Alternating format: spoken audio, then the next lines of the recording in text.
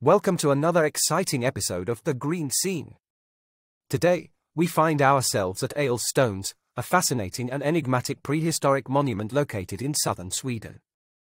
Join me as we delve into the mysteries surrounding this ancient site. Ales Stones, also known as Ales Stenar, in Swedish, is an extraordinary structure consisting of 59 massive stones, meticulously arranged in the shape of a ship. It dates back to the Iron Age, making it over 1,000 years old. But what's truly captivating is the speculation surrounding its purpose.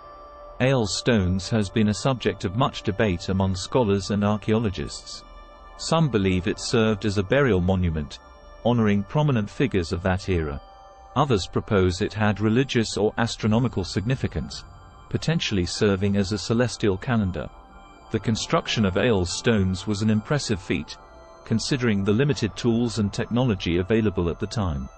These massive stones, weighing up to 5 tons each, were transported from nearby locations, highlighting the determination and skill of our ancient ancestors. One theory suggests that Ales stones was designed to align with significant celestial events, such as solstices or equinoxes.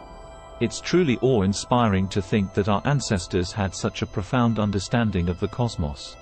The location of Ales Stones is also quite remarkable. It offers breathtaking panoramic views of the Baltic Sea, creating a serene and mystical atmosphere. Visitors often feel a deep sense of connection with the past while standing amidst these ancient stones. Thank you for watching my YouTube channel, The Green Scene. If you enjoy my content and would like to show your support, I would greatly appreciate it if you consider buying me a cup of coffee. Thanks for watching. Thank you for watching my YouTube channel, The Green Scene.